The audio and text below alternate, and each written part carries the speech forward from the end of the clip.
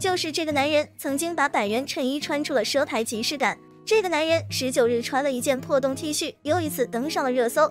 他就是邓为，那个曾经潮到风湿的型男。有人说他太潮了，这副模样就是想要塌房的，于是他被各种黑。还好这个内心温润的大男孩没有让我们失望，抵得住流言蜚语。那是因为他本没有东西可被黑，一次一次的黑，我们一次比一次更认可他。他的封面杂志大卖，他的时尚感又一次被大众认可。他就是为时尚而生。他代言的护肤品低调而不失奢华，他的团队一直都有在认真选品。他和品牌爸爸也是相互成就。迪奥的这件衣服，邓为穿上真的很绝，八千多的 T 恤又被粉丝横扫一空。他带来的购买力是自然粉和钻粉心甘情愿的买单。薇子一定很喜欢这条项链吧？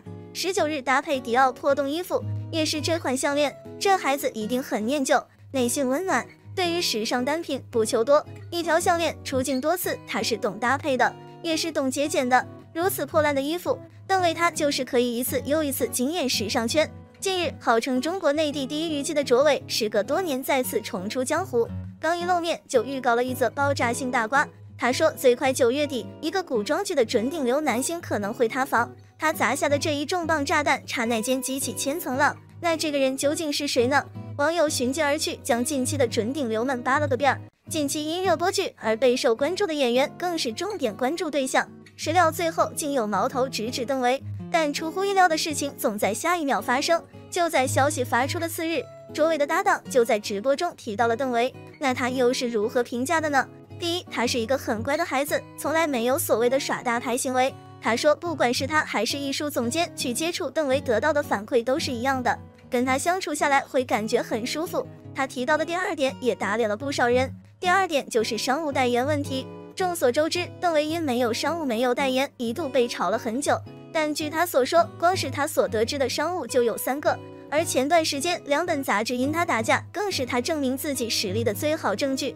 静待花开，总有苦尽甘来的一天。第三，他说邓为实在没有什么太多可塌房的事。这个暑假已经有太多关于他的黑料在漫天散播，但黑料不够黑，那些防爆他的人反而还助了他一臂之力。这次的无辜躺枪，还是在一定程度上给他带来些许的影响。对于天天被用来挡枪的他，无可避免会影响一波路人缘。他目前在谈的几个商务也会受到波及。好在他拥有的是一支严谨且成长速度极快的团队，即便与成熟的团队相比，可能资源不是那么成型，但一直在进步的团队加上流量当头的邓为，扶摇直上九万里，尤其是男士，在娱乐八卦圈，卓伟可堪称是神一般的存在。能让他耗时耗力跟拍的，必须是有知名度且各方面数据都不错的人，费尽心思放长线钓上来的必是大鱼。就像当年他爆出来著名的夜光剧本一样。就是他在跟拍女方一年多无果之后，转去拍男方一个多月才得来的成果。但为什么一有负面问题发生，就总有人提名邓为呢？圈内某个著名的导演曾在直播间这样说过，他的大意就是早在《长相思》刚有点小名气时，邓为就被黑被防爆，他得罪的那个人是全天下都知道的，以至于根深蒂固。现在不了解邓为的人觉得他就是那样的，四百万的粉丝量怎么承受四千万对他的攻击？这个著名导演还义愤填膺地说道：“网上那些说他耍大牌的都是胡说八道。他在演《长相思》之前连个大牌都不是，又要如何耍大牌呢？”导演的一句话更是揭露了网上为什么一直针对邓为。既然不能为我所用，我就要把你毁掉。这看似因爱生恨的话语，瞬间惊醒千万个梦中人。细思极恐的话语显示了阴暗的到底是哪一方？他真实的口碑真如网上所说的这般不堪吗？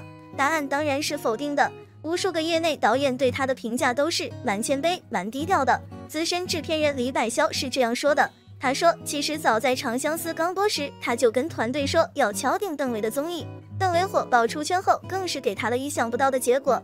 一般艺人在火了之后就开始沾沾自喜、飘忽欲然，然而他们当时一起接触了二三十个艺人，邓为这边却永远都是最快回复的一个。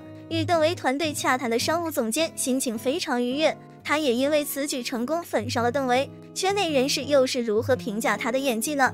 现在的他并不是实力派，依旧有需要进步的空间，但他的表演依旧是可圈可点，完成度非常高。长相思中最大的亮点就是他的情感释放以及眼神的传达，他带给观众的是很诚恳且真挚的。在娱乐圈从来都是自扫门前雪，为什么会有人愿意站出来替他说话？答案可能就藏在一些举手投足的小细节里。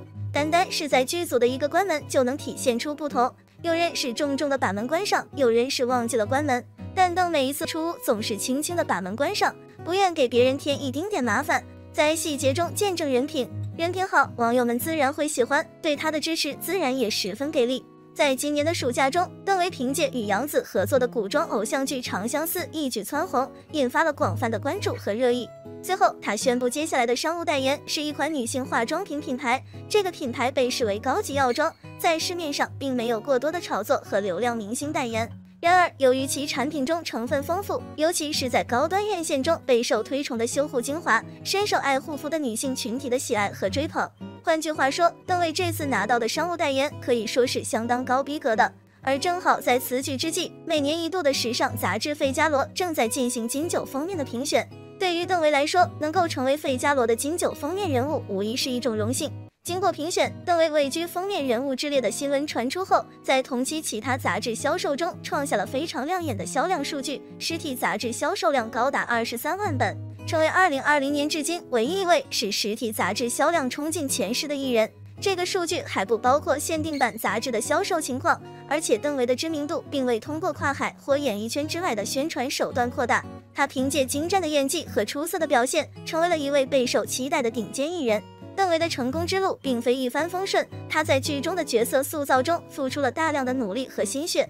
在《长相思》中，邓为与杨紫饰演一对患难夫妻，他们将爱情升华为信仰，跨越了时间和命运的障碍。这个古装偶像剧不仅引发了观众们对于古代爱情的共鸣和热爱，也让观众们对于邓为的演技和颜值刮目相看。他在剧中塑造的角色形象深入人心，个性鲜明而又情感丰富，为他赢得了大量忠实粉丝的支持和喜爱。除了出色的演技，邓为还以其扎实的基本功和勇于担当的精神，获得了导演和制作方的高度认可。在剧中，他能够准确地把握自己角色的心理变化和情感表达，让人们为他的角色经历和成长而动容。他的表演风格独特而又不失自然，为观众们呈现了一个立体饱满的角色形象。